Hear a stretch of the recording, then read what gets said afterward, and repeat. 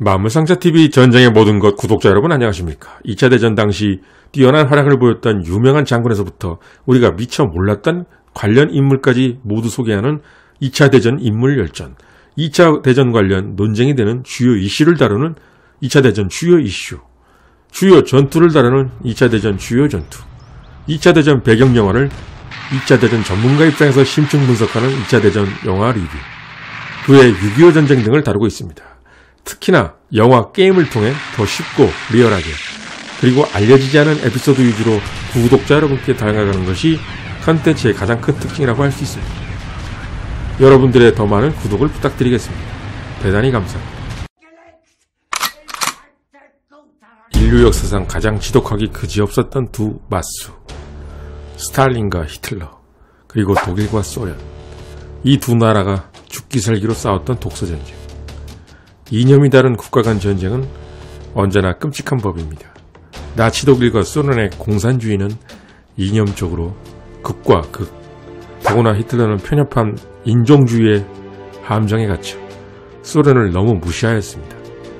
소련은 자신들의 상대가 안 된다고 생각했던 것이죠. 소련은 2차 대전 참전국 중에서 유일하게 여군을 전투병과에 사용했던 국가였습니다.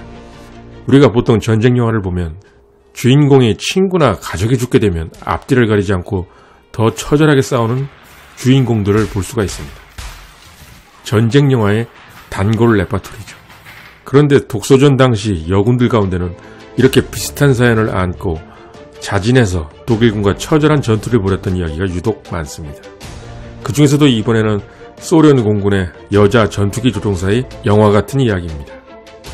사랑했던 연인이 전사하자 반쯤 정신이 나가 처절한 복수심으로 엄청난 활약을 보였던 소련 공군의 여자 에이스. 그녀는 바로 스탈린그라드의 백합이라고 불린 리트베아크였습니다. 리트베아크는 1921년 8월 18일 모스크바의 유태인 가정에서 태어났습니다.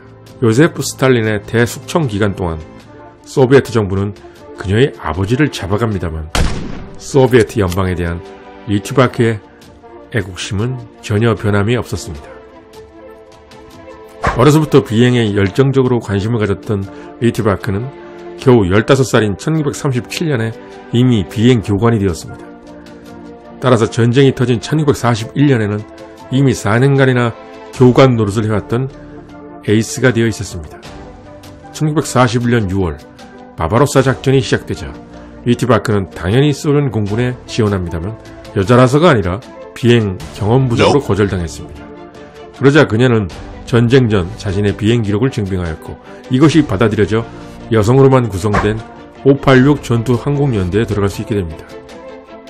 때는 1942년 8월 인류 역사상 최대 그리고 최악의 전투인 스탈린그라드 전투.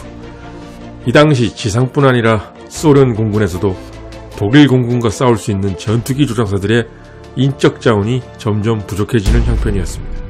전투기 조종사 부족에 시달리던 소련 공군은 드디어 여성 조종사들도 최일선에 투입하기로 결정하게 됩니다.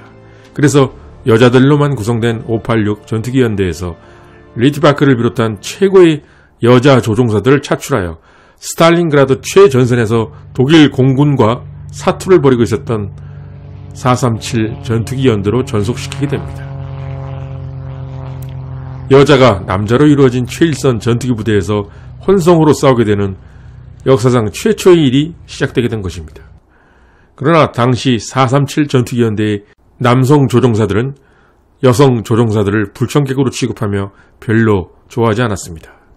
한마디로 여자라서 그 전투 능력을 매우 낮게 평가했기 때문이었습니다.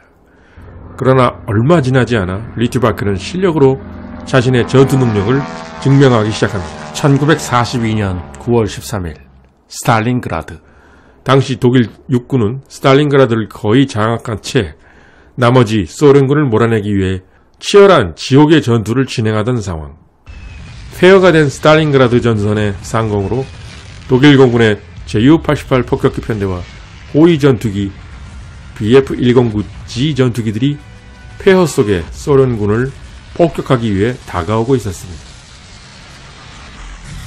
JU-88 폭격기를 호위하는 BF-109G 전투기 조종사들 중에는 11기의 격추를 기록하고 철십자장을 3번이나 수상한 독일 공군의 에이스 엘빈 마이어 하사도 있었습니다.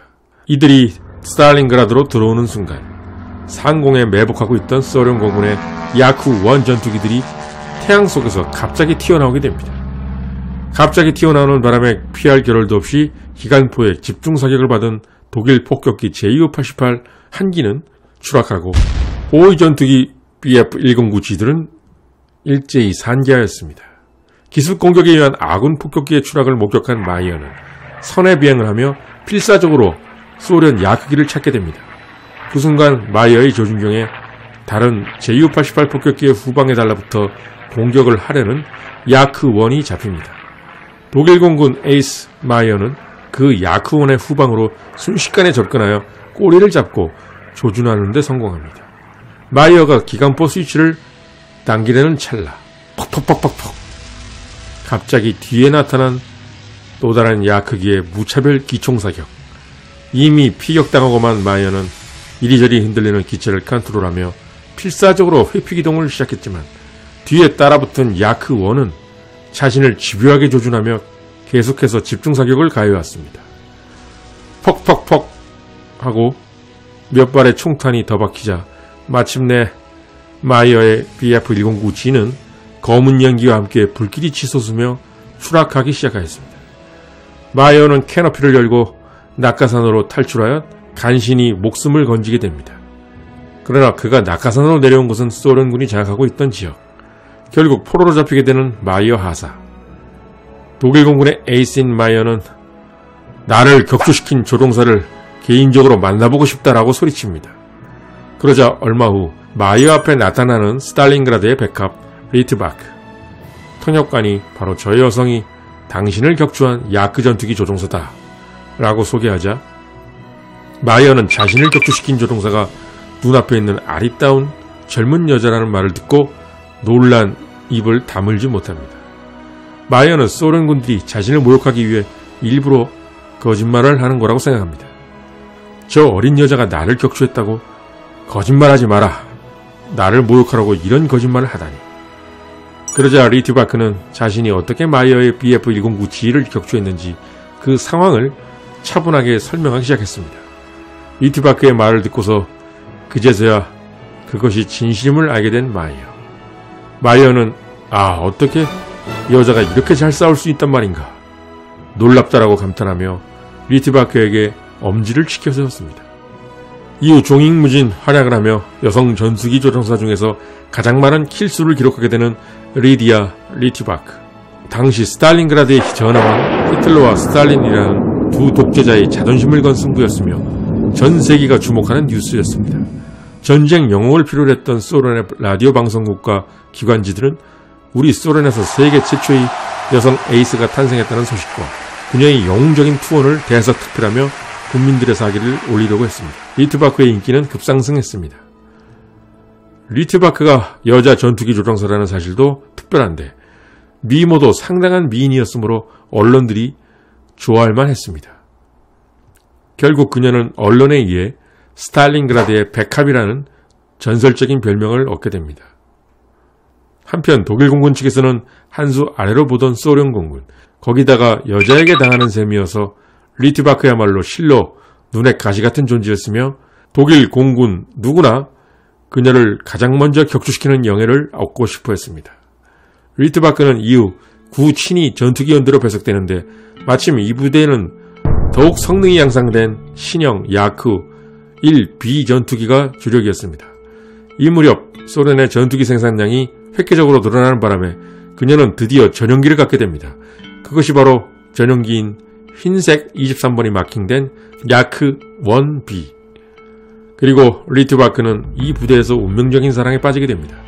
21살의 여자에게는 어찌 보면 당연한 일로 39기의 격추를 기록하고 있던 top 에이스이자 편대장인 알렉세이 프롤로비치 살로마틴 대위를 사랑하게 된 것이었습니다. 21살 그녀도 사랑하는 한 남자와 함께라면 무작정 행복한 한 명의 여성이었을 뿐이었습니다. 그러나 그 행복은 그리 오래가지 못합니다. 1943년 5월 21일 그녀의 애인인 살로마틴 데이는 부대에 배속된 신참 훈련병들을 교육시키던 중 비행사고로 사망하게 됩니다. 리트바크는 실로 엄청난 충격을 받았습니다. 솔로 마틴이 떠난 후에야 내가 얼마나 그를 사랑하는지 깨닫게 되었습니다. 다시는 그러한 사람을 만날 수 없을 것 같습니다. 리트바크는 자신의 어머니에게 보내는 편지에서 이렇게 밝히게 됩니다. 참으로 슬픈 것은 리트바크는 연인이 죽은 시점부터 3개월 후 그녀가 전사할 때까지 얼굴에서 다시는 웃음을 띠지 않게 됩니다. 원래 그녀는 쾌활하고 말괄량의 기질이 다분했고 남자나 여자 동료들과도 잘 어울렸으나 연인이 죽은 이후부터는 거의 휴식을 잊은 채로 임무가 있을 때마다 스스로 자원하여 출격합니다. 그리고 적기와 마주치면 너무나 무모할 정도로 덤벼들게 됩니다. 사실 제 채널에서도 이런 사례를 벌써 세 번째 소개하고 있습니다. 남편이 엘 알라마인 전투에서 전사하자 영국의 첩보원이 된 바이올레스 자보. 남편이 독일군에게 살해당하자 소련의 T-34 전차병으로 지원하여 싸웠던 마리아 옥티아 브라카야. 그만큼 사랑하는 남자를 잃은 젊은 여성의 복수심이라는 것은 무서운 것 같습니다. 그녀는 1943년 8월 1일에 죽게 되는데 연인이 죽은 후 3개월이 채 못 되는 그녀가 살아있던 기간 동안 리티바크의 멘탈은 붕괴되어 가고 있었습니다. 자신의 몸을 돌보지 않는 그녀를 보며 동료들은 그녀가 괴로운 나머지 연인을 따라서 죽기로 작정한 것이 아닌가 생각할 정도였습니다. 리트바크는 1943년 5월 31일 유인 독일 포병 관측기구인 대형 풍선을 격파하게 됩니다. 당시 독일 포병은 포병 사격을 유도하는 관측소로 풍선을 사용했습니다. 이것을 파괴하기 위해 다른 소련 공군이 무수히 시도했지만 풍선을 방어하는 대공포의 조밀한 보호벨트로 인해 모두 실패했습니다. 리트바크는 이 임무에 지원합니다. 무모하게 죽으러 가는 게 아니라 나름 작전이 있다고 상관을 설득한 리트바크. 바로 전투 지역을 크게 우회하여 몰래 숨어 들어감으로써 독일군 대공포가 아군기로 오해하도록 하는 것이었습니다. 결국 집요한 그녀의 활약으로 불길에 휩싸이고만 독일군의 대형 관측 풍선 그리고 마침내 그녀의 마지막 날이 찾아오게 됩니다. 크루스크 전투가 진행되던 1943년 8월 1일 IL-2 슈트르모빅기들을 호위하던 리트바크와 부대원들 귀환 도중 그들은 오렐 지역에 이르게 되는데 이때 상공에 매복하고 있던 독일 공군의 BF-109 G 전투기들이 그들에게 달겨들었습니다. 흰색 23번 야크 1B 전투기, 독일 BF-109G 8대는 이리 떼처럼 한꺼번에 리트바크의 야크기 한 대에게 덤벼들었습니다. 독일 공군의 자존심을 짓밟아왔던 스탈린그라드의 백합, 리트바크가 탄 전투기임을 알아차린 것입니다.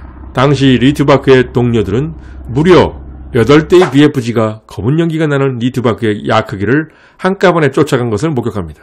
그리고 리트바크의 야크기와 독일 BF-109G 모두가 구름 아래로 같이 사라진 것을 목격하게 됩니다. 폭발음도 없고 잔해도 없었기 때문에 부대원들은 리트바크가 귀환할 것으로 기대했으나 끝내 그녀는 다시는 나타나질 않았습니다. 그녀는 실종으로 처리되어 금성 무공문장의 수요도 무기한 연기됩니다. 그리고 무려 36년이 지난 1979년까지 그녀의 소재는 밝혀지지 않았습니다. 1979년 우크라이나의 한 마을에서 그녀의 야크 전투기 자네와 시신의 일부가 동료들에 의해 확인되게 된 것입니다. 그녀의 시신은 야크 전투기 아래에 깔려 있었으며 머리에 큰 상처를 입고 전사한 것으로 확인되게 됩니다. 1990년 소련의 대통령이었던 미하일 고르바초프는 그녀에게 소련 영웅 칭호와 함께 금성 무공훈장의 영예로운 수여를 결정합니다. 사망 당시 그녀는 상급 중이었고 총 66번의 전투 임무에서 최소 12번의 단독 사살과 4번의 공유 사살로 소련 공군의 여자 에이스이자 전 세계 최초의 여자 에이스였습니다. 자신이 정말로 사랑했던 연인이 죽은 후 너무나 상심한 나머지 희망을 잃고 오직 웬수인 독일군과 싸우는 것만이 자신의 사명이라고 생각했던 스탈린그라드의 백합 리트바크. 그녀는 결국 독일에게 항복하지도 실종된 것도 아닌 장렬히 전사했던 것이었습니다.